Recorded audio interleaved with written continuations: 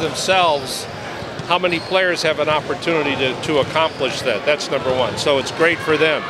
For us, it's all part of a legacy building situation where, you know, when we talk about USA basketball and the infrastructure, when you have someone who has been, who has has the equity to the degree that they have, that they have participated in three or four Olympic tournaments, that's that's a huge thing.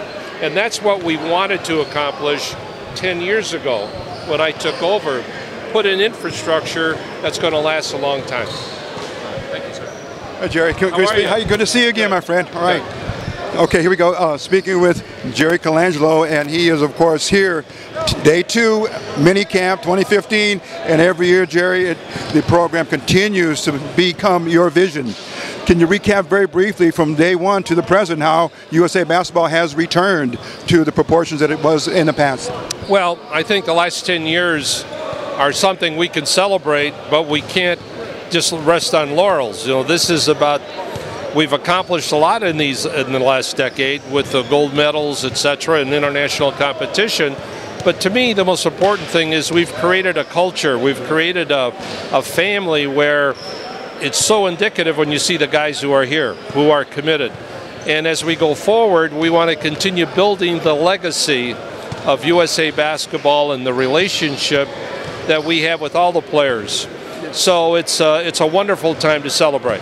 And of course, uh, with uh, Coach Krzyzewski coming back on and continuing down this path with you and USA Basketball, and of course all the players from the NBA, again strengthening our position in the world. Uh, vis-a-vis from last year's FIBA World Cup tournament, winning, winning that in the gold medal. Well, when, when you pick someone to be uh, a leader alongside you, Coach K was right there at the top, and he's done an incredible job. Um, you know, he's he's forged relationships with everyone in, in the world of basketball, and in particular with the with the players. And so there's respect. Yes. You know, we could talk about loyalty, we could talk about commitment, but when you get when you add respect to that equation, it means a great deal. And of course, the entire structure within USA Basketball has continued to grow as well, with more programs becoming available to the public, with coaching programs, the youth development, three on three, and of course, it's going to be endless with the way we look at the, the game of basketball, thanks in large part to your vision and of course USA Basketball. Well, we're all about growth. We're about the growth of the game, and where we need to put our resources is in the youth. So our youth development in U, uh, USA basketball is the future of the game, and so uh, that's a, a very exciting part of uh, what what lies ahead. And lastly, now to kind of dovetail over to the men's success, the women as well. I know you keep a very good eye on the women's program as well. The women's program is as strong as it possibly can be, and we take great pride in the fact that we are defending gold medalists in just about every category, men's and women, Uh, all the youth teams, etc. So we have a lot to be proud of. 2016, right around the corner, Mr. Colangelo. Your thoughts on final preparations from, from that, if you can give us a, a vision, say, into March or April of next year. Well, I'm so anxious. I'm going to keep my bags packed so I don't have to pack when it's time to come back here next summer. Okay. Thank you very much, Okay. Jerry Colangelo, Managing Director of the USA Basketball Men's Program. We'll be back with more of the Selling Sports Scene.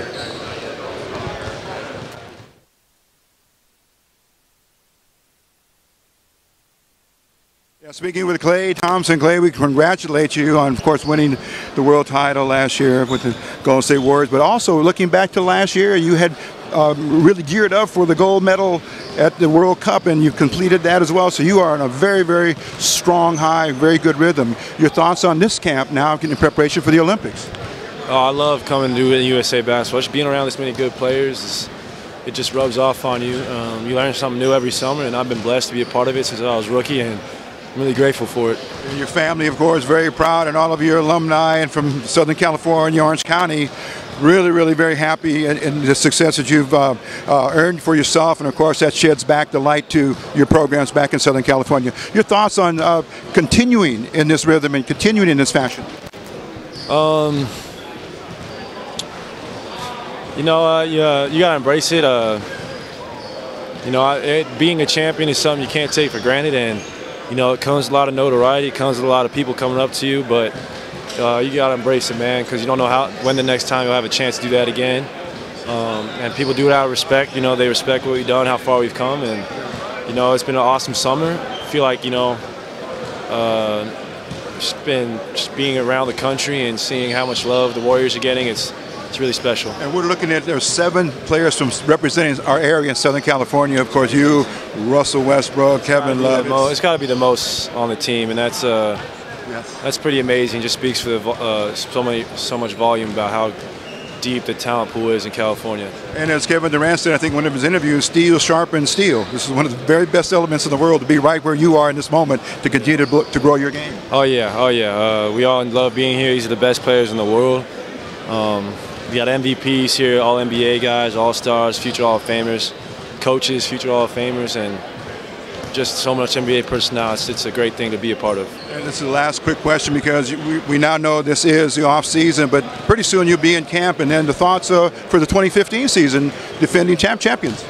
Yep, uh, it's time. It's you know we have every uh, ambition and to you know repeat. I mean we have the ability to do it.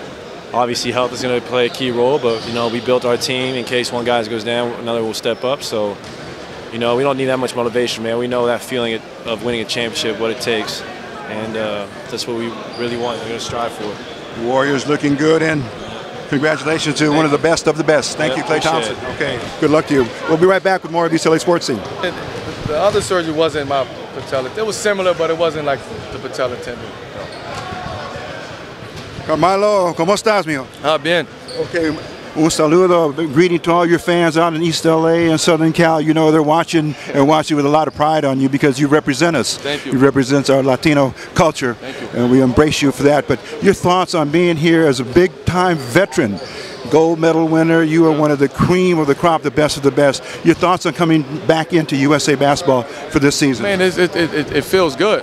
I mean, just to be able to, even, even though it's two, three days, it feels good to be here. It feels good to be around the guys and see guys and you know, mingle with the guys and talk and catch up because we get we, we beat each other up every day of the season. So now we get a chance to just be on one team now. And we see the brotherhood, the fraternity of the elite right here, the best of the best. You guys are steel, sharpening steel. I think that's what Kevin Durant yeah. mentioned. So we can only be very, very confident about the future, at least for the, the Olympics. We're good to go. Yeah, I mean, we, we, we should be good. We just got to continue working and, you know, pushing each other the way we've been pushed, the way we pushed each other these last couple of days and over the past couple years. And we'll be all right. I mean, at the end of the day, we, we, we, can, we consider ourselves the best players in the world and we got to keep working at that and keep believing in that. Hey, Carmelo, maybe one of the questions you may not be asked quite all the time on the circuit, but for us as Latinos, yep. watching you, knowing that Noche Latina in the NBA is a huge event, uh, tell us how that's been going for you in New York. It's been good. I mean, New York is a, is a huge you know Latino market, man. So for me to be a part of that and you know kind of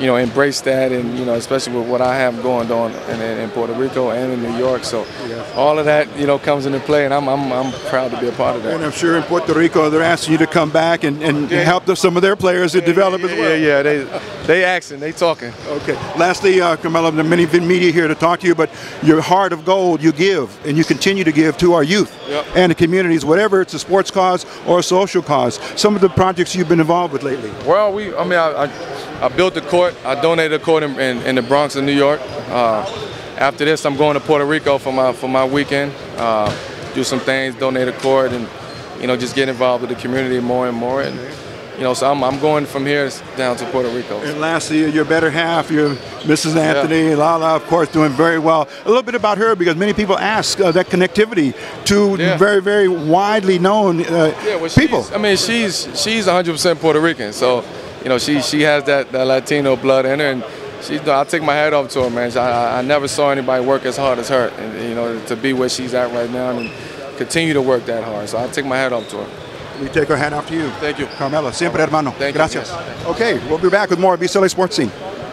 Russ, Russ, Russ, how you doing today? I'm good, baby. How you doing, brother? Doing well. Glad to see you back here. Yes, USA sir. basketball, of course, the best of the best right here. Steel, sharp, and steel, as your teammate Kevin Durant said. But right now, looking to the Olympics, your thoughts on preparations? Uh, just trying to get right, trying to get everybody back. Uh, we got a lot of guys here trying to find a way to be able to kind of put it all together. One of our angles here was uh, this team is well stocked with at least seven players representing from Southern California, and you know who they are. They're all your good yeah, teammates, yeah, yeah. and you got to feel proud. And of course, our kids in, in Southern Cal looking course, up to you. man, representing LA, always representing where I come from, and uh, gotta gotta make sure I go out and represent the right way.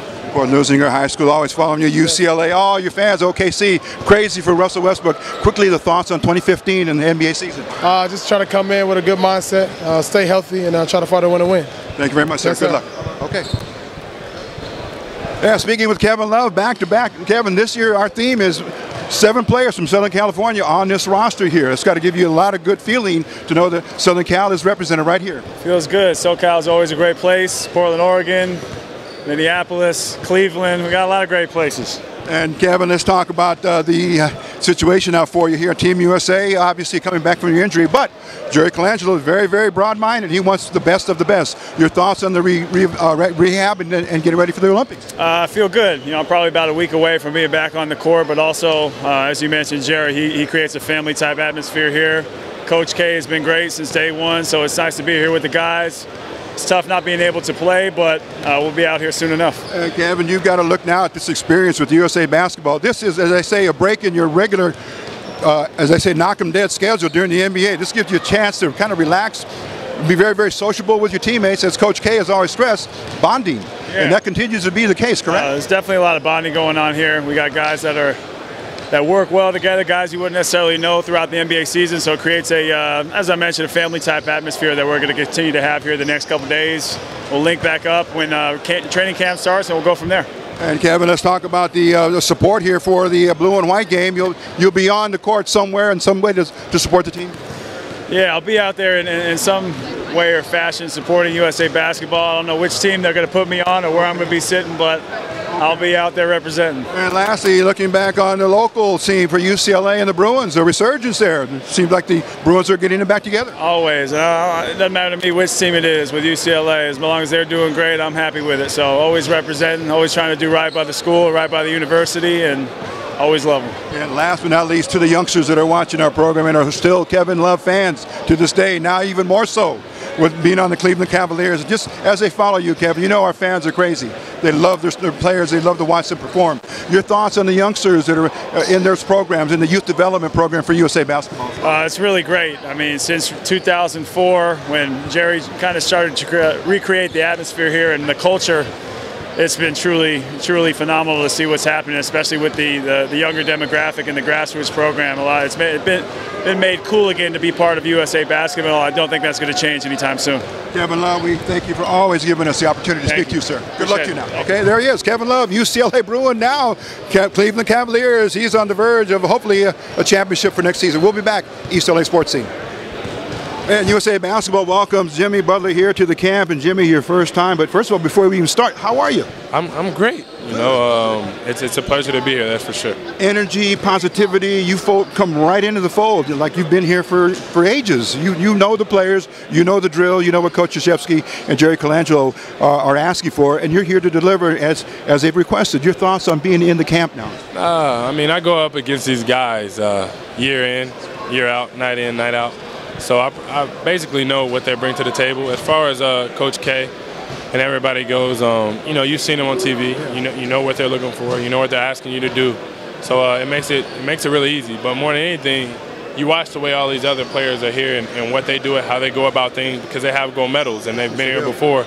It's easy to follow in their foot uh, in their footsteps. And you are making a noise, a big, beautiful noise uh, in your career. We compliment you for that with the Bulls, and uh, it's only upward, uh, onward, and upward. Your thoughts now for the 2015 season, uh, Jimmy, as you get ready? Ah, just try to help win. Continue to get better like I've done throughout my career.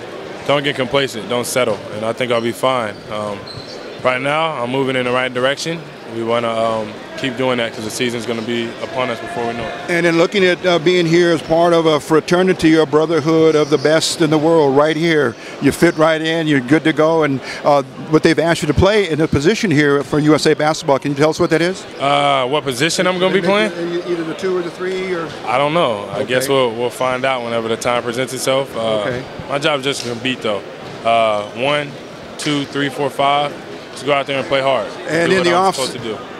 And in the off season, when you're not playing uh, sports, you're not doing NBA, not even USA basketball, we understand you give very, very much back to your community. Can you tell us a little bit about the community projects you, you're involved with? Man, a- anything with kids. I, I really love kids. I think they're the future of this this country, this nation. Um, and then I I just love the city of Chicago, to tell the truth. So anytime I can show my face around there and, and, and helping schools and, uh, you know, the, the less privileged, Yes. um, I'm always about that because um, I'm, I'm not a basketball player. I'm a person first. And uh, I got to change the world with the talents that I was given.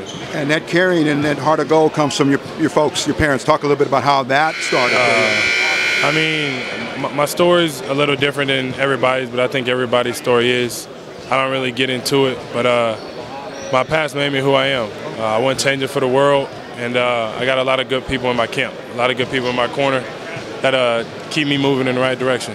Jimmy Butler, well said. We thank Appreciate you. it, man. Not the last you. time we'll talk to you, sir. Good luck not. now. All right Take now. care. All right, East LA Sports Team. We'll be right back. And speaking with another world champion here, Harrison Barnes, the Golden State Warriors. And last year, you were here in camp, gold medal, World Cup, World Championship. Harrison Barnes, good to see you again. How are you?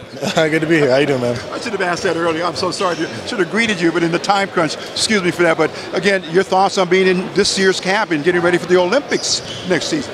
Yeah, I mean it's great. I mean, anytime you're a basketball player, you can compete against the best. Uh, you know, work alongside these guys, try to learn some tips, uh, and that's what it's all about. So definitely happy to be here. the best of the best, and you can't get any better than that. This is one beautiful environment. There's a lot of camaraderie, a lot of joy, a lot of comp- competition, but right in the middle of it, there's Harrison Barnes doing his thing. yeah, you know, I just want to try to come out here, you know, get better every single day.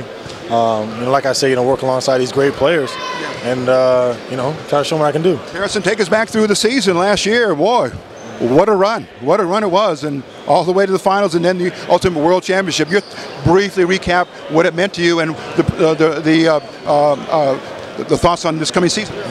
Now it was a great run. I mean, just to be able to go, go through that whole season, uh, you know, we kind of got better every single time, every single game, you know, every single series, and you know, to be able to finish with the championship, it was special. Just because, you know, in this league, you know, teams don't always stay together. So I'm glad we were able to get one. And uh, of course, now that you're a champion, your family celebrates. Can you give us a little insight as to how that went? How it continues to be a big part of your family culture now. Man, it, it was great. Uh, you know, just to be able to have my mom and my sister be at the finals, to be able to have them at the parade, to be able to bring the trophy back to Ames twice, Yeah. um, to my hometown. So that was that was really special. Okay, and uh, again, right here in camp with Klay and Stephen Curry. Wow, you couldn't ask for a better combination, and hopefully we'll see that in the blue and white game tonight, tomorrow. exactly. You know, that'd be great, and you know, hopefully, you know, we'll all be in Rio together. Last thing, Harrison Barnes, you're a giver. You love humanity. You told us that in your interview. What uh, are, are you doing on the off season with some of your, your community projects? Um, I got uh, you know Reading Academy in Ames, Iowa. Um, for kids, partnered up with the Ames Public Library for that, and then in Oakland, um, just my summer reading program for the Boys and Girls Club.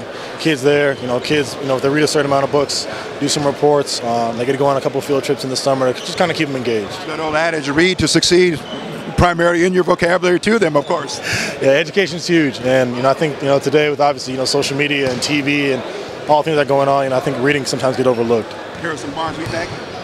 And Appreciate good luck. man. We'll see you at the game tomorrow. Okay. All right. There he is, a world champion. We've spoken to two out of the three. We don't have Steph Curry, but hopefully before we break camp here or after the game tomorrow, we'll have comments from Stephen Curry as they come here in a spirit of joy, admiration, respect, compatibility, all those brotherhood. Good word to describe it. And, that, and that's what Coach K has always stressed, along with Co- Jerry Colangelo. Your thoughts on coming right into that type of an environment? it's been great. You know, I think he's definitely said this is a, a brotherhood, and I, felt it from day one. I feel like everybody's welcoming. I feel like everybody likes each other. I feel like everybody cares about each other, and I think that's what's been so important, you know, in a win in the past. Marcus, uh, how would you describe what our players do for our country now And they're off time? Because there's so many demands on their time, but right now basketball is it never stops. I think guys have been great about you know uh, committing. You know, I thought you know we had you know one or two summers where you know guys were you know weren't interested, and I thought Coach K took over and he kind of put that fire back under guy you know back in guys' bellies about you know you know uh, you know wanting to uh, you know to, uh, to uh, rep USA and you know and wanting to be involved with it and, and, and showing guys it's an honor.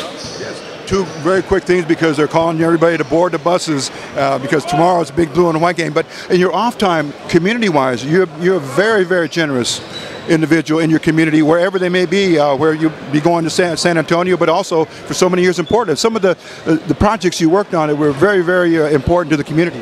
No, thank you. I mean, I always try to get back in my own way. You know, I, I think, you know, most of the things I've done, you know, haven't been, you know, publicized, and you know, I'm more about doing it, you know, from the heart and uh, not for the show.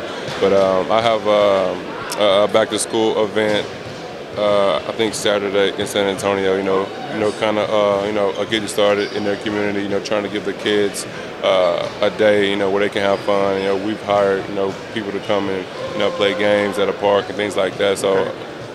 I'm looking forward to that. And lastly, 2015, this will break off very quickly. The summer will be over, and then it's going to be time to report to camp, and you'll be brand new, San Antonio. Your thoughts and on the acceptance of the community and the players and the franchise there in San Antonio? Um, I'm excited and nervous. You know, it's a, a, new start for me. I've been in the same organization for 10 years, and you know, I think you know I knew them and they knew me, so it wasn't you know much learning there and uh, I'm looking forward to the, you know uh, going to San Antonio. I feel like it's a, a first class organization. I feel like their fans are very loyal and, and uh, you know and great. So it's going to be new for me, and you know I'm going to be nervous in the beginning, but I think I'll be fine. Marcus Aldridge, well said. Well, thank you all for right. the time, sir. Good you. luck to you and all you do. Success and Godspeed. Yes, sir. Thank you. Okay. All right. East LA Sports Team. We'll be back in a moment. Coming to USA Basketball Training Camp.